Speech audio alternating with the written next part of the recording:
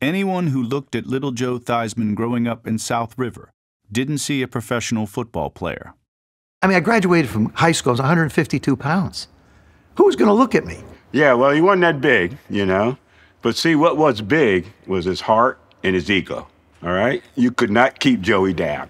I wound up having a really good senior year, and, and we were undefeated. Our high school coach ended up getting an assistant coaching job at North Carolina State. Joey's about to go there. Then all of a sudden, Notre Dame calls. When Notre Dame called, it was all over, all right? If Notre Dame wants you, you got to go. I remember going out to the university and then flying back and getting off the plane in Newark, New Jersey. My dad picked me up. He says, What do you think? I said, I have to go to Notre Dame. He says, Why? I said, Dad, I can only tell you this it feels right. The spirit of Notre Dame is, I think, if it could be bottled, could probably light up the universe. So my freshman year, Johnny Ray is the linebacker coach, Joe Yonto is the defensive line coach.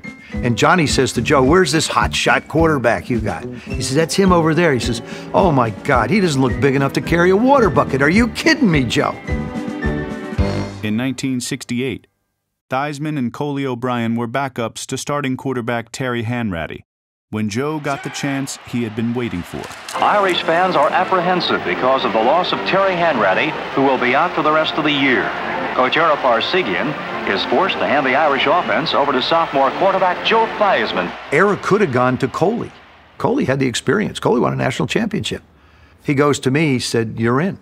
That's a very defining moment in a young athlete's life. You can go one of two ways.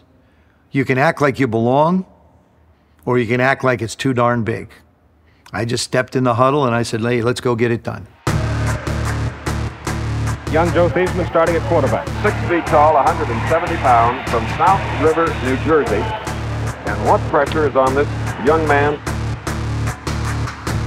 Theismann took over and never looked back, setting Notre Dame career records for touchdowns and passing yards. The poised quarterback gives the impression he wants to become a veteran in one game. In his senior year, the Irish quarterback led Notre Dame to a Cotton Bowl victory. He's a willowy boy, six feet, 170 pounds, but remarkably quick feet and excellent balance. The South River Roadrunner, one of the greatest quarterbacks of all time. The beginning of my senior year, Roger Valdiserri, our public relations director, calls me in the office. He said, Joe, how do you uh, pronounce your last name? I said, it's Theismann. He said, no, no, your last name is pronounced Theismann. I said, no, no, no. My last name is pronounced Theismann. He said, no, Joe, your last name is pronounced Theismann. He said, Joe, I want to tell you something. There's a trophy out there called the Heisman Trophy because the best college football player in the country. We think you have a chance to win that trophy. But we're not just going to count on your athletic ability nor the reputation of the University of Notre Dame, but we think by just simply changing the pronunciation of your last name from Theismann to Theismann to rhyme with Heisman, we can get you that trophy. And that's how my name was changed. And that's how I became Joe Theismann.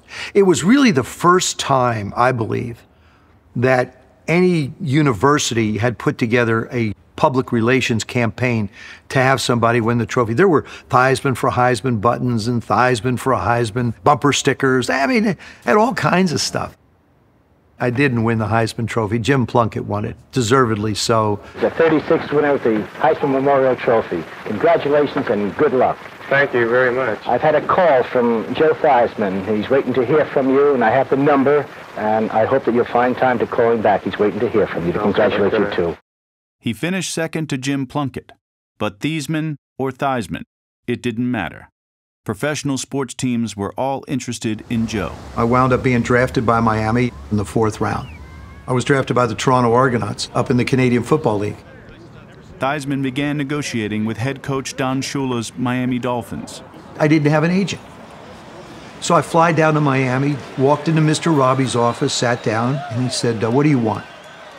And I said, I want 35, 45, and $55,000, and I want a $35,000 signing bonus. He said, You got it. Shula thinks I'm signed, sealed, and delivered. And uh, they sent me my contract. And they put a clause in the bonus that said, if I didn't show up for any of those years, the bonus would be, have to be repaid. Now, keep in mind, in 1971, we were at the end of the Vietnam War. So I didn't know what was going to happen. So I said, no, no, no, this isn't right. So Theismann signed a contract with the Toronto Argonauts. Don flew up to South Bend and read me the riot act. You had a moral obligation to be a Miami Dolphin. I said, well, you had a moral obligation not to screw with my contract. They had actually changed it to the way I wanted it, but I became so disillusioned with the process that I said, to heck with it. And so I wound up being a Toronto Argonaut.